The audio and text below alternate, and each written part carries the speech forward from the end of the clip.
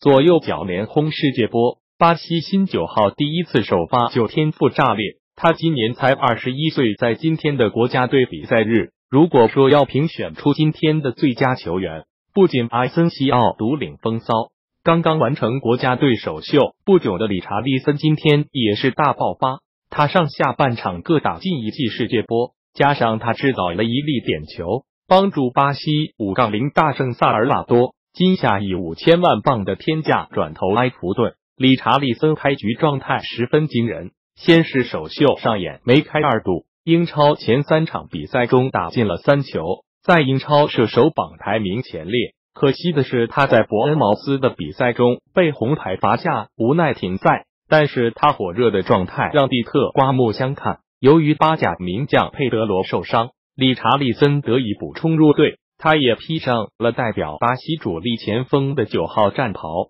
上一场巴西击败美国的比赛中，理查利森替补上阵，迎来了自己的国家队处子秀。此番蒂特有意让他首发登场。太妃糖当红前锋终于获得了为桑巴军团首发出战的机会。比赛刚开始不久，理查利森就带球突入禁区，被对手放倒，裁判果断吹罚点球。内马尔没有浪费他制造的点球，主罚命中，帮助巴西领先。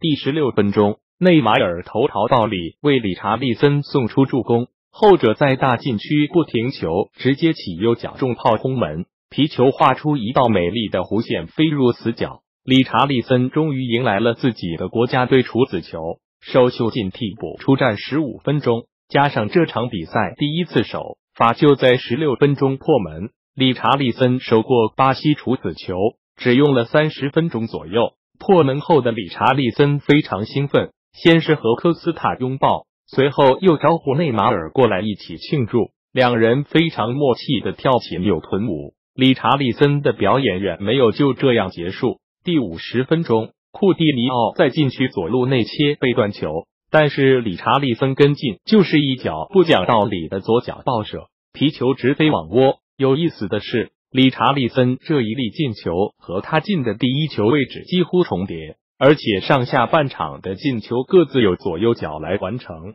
理查利森展现出了他左右脚均衡且出色的射术。世界杯中身披巴西九号战袍的是热苏斯，但是曼城小将在俄罗斯的表现令人失望，辜负了巴西球迷的期望。在罗纳尔多和阿德里亚诺之后，巴西九号再没有合适的继承者。如今，巴西新一代的锋线重担落在了热苏斯。菲尔米诺和理查利森身上，究竟谁才是最适合这件九号战袍的人选呢？要知道，理查利森和热苏斯一样，才二十一岁，